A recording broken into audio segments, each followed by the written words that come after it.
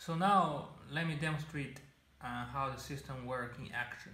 So let's start with the walk-in users part. So imagine I'm the working user and uh, I can check out available services here. Uh, so I pick out the business keys. The thermal printer will print me a ticket. So this is the queue number is my queue number, just like now. Um, and the data on this paper is just some dummy data. Yeah, so this is a way uh, the traditional user also could use these systems. And at the same time, the data already uh, write into our cloud APIs, so it can work with all the other part of the system.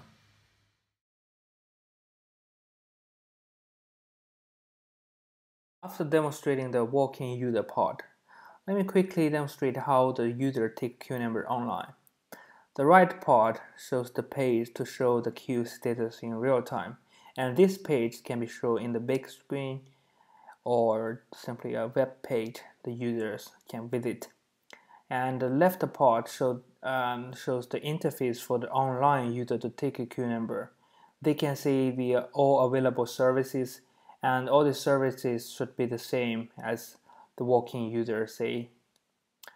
Uh, and also here you can also see um, how many people are waiting for each services. So let me pick the first one. Because in this case, I require the user to enter their phone number uh, when they take queue number online. But you can also adjust your own uh, conditions for the user to to take queue number online because this is demo I just type some dummy phone number and click OK.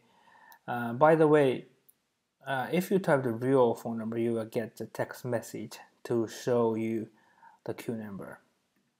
Okay now I got my queue number is T2 so now the question is how the employee manage the whole queues already uh, like scheduled in our system.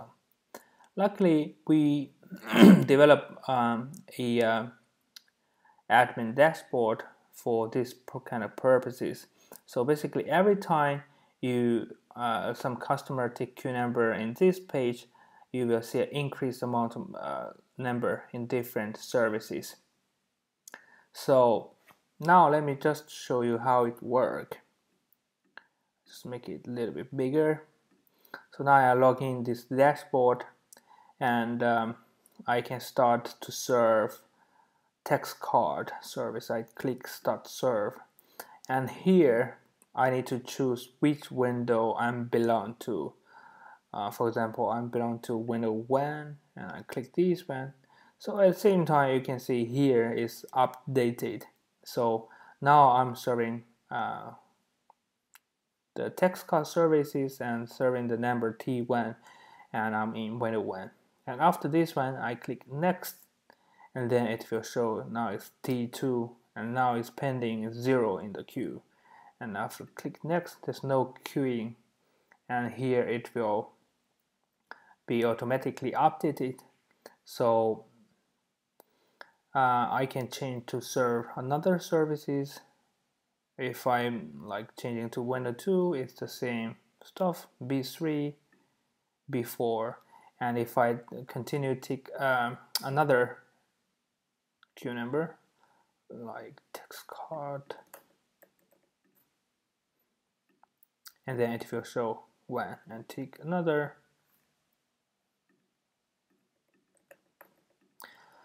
It will show two so. And also you can modify some uh, stuff uh, like what's the organization name and address, phone number, and also the support business. This part will affect the interface the user can see. So for, for, for example, I want to pause uh, these other services. I can click edit and change the status to close uh, to save and then it will uh, it will hit in this page. If I want to add another type, prefix, another whatever and just open click save it will also add new service here and um, so the, the ser service can be added or removed on the fly also the windows or branches you can add new windows. Window has two has three three, and it's, this is open. Now you can see here. And you can also write some random stuff like uh, Tom uh, is serving.